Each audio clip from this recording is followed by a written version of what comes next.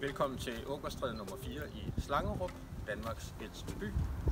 Ejendommen, vi skal se i dag, er en fantastisk flot, klassisk ejendom med sortbaseret tegltag fra 2006. Til ejendommen er der en garage. Der er en fantastisk syd- og vestvendt have, som vi kommer tilbage til. Kom ind for at kigge.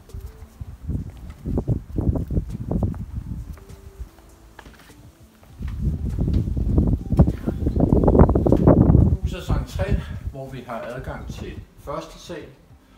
Vi har et toilet i stueplan. Og så har vi husets hjerte, køkkenet, som vi kommer tilbage til lidt senere. Fra entréen har du også adgang til dagligstuen. Dejligt op til loft. Flotte gulve og de malede øjepaneler. I enden her, hvor jeg står, hvis man har mangel på værelse, så kunne man overveje at dele stuen op og måske lave et værelse i den ene ende. Første salen har værelser som pt. er gennemgang, men som man kan se på vores illustrationer, så er der mulighed for at lave en løsning der. Vi går op på første sal og kigger. Ejendommens første sal møder du op på repoet, ejendommens badeværelse.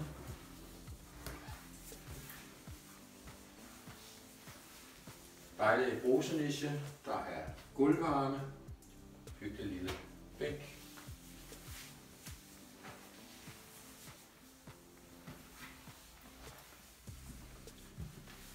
Videre ind på første salen, der har man to værelser i forlængelse af hinanden, og i forbindelse med det bagerste værelse ligger der faktisk et tilstødende værelse.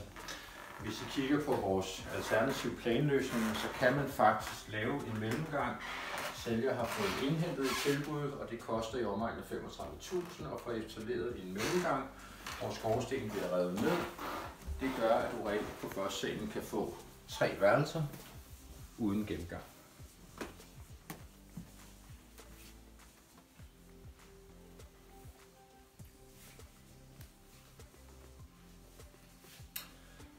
Første salen heroppe, man kan bruge den som den står nu, hvis man kun er et par, men har man brug for børneværelser, jamen så tænk løsningen, som vi har illustreret. Lad os gå ned og se resten. Så er vi tilbage i stueplanen. Kom med ind for i husets hjerte. Dejligt køkken med masser af spiseplads, klinkegulve.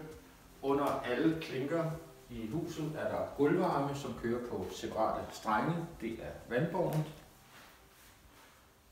Fra køkkenet udgang til fantastisk sydvendt terrasse.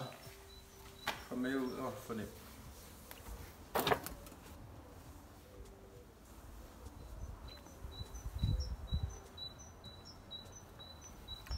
Videre fra køkkenet har man udstue. Udstuen er en del af husets 147 kvadratmeter.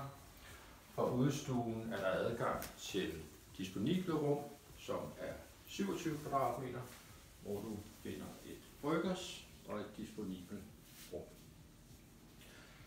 Videre fra udstuen har vi adgang til haven og terrassen. Haven og terrassen er syd- og vestvendt, så masser af sol i haven hele dagen. Grunden er på 748 kvadratmeter. Huset er energimærke C. Alt i alt bestemt en fantastisk ejendom. Jeg håber, I er blevet inspireret til at komme en tur til Slangerup på Ågårdstræde. Har I spørgsmål, så ring eller skriv endelig.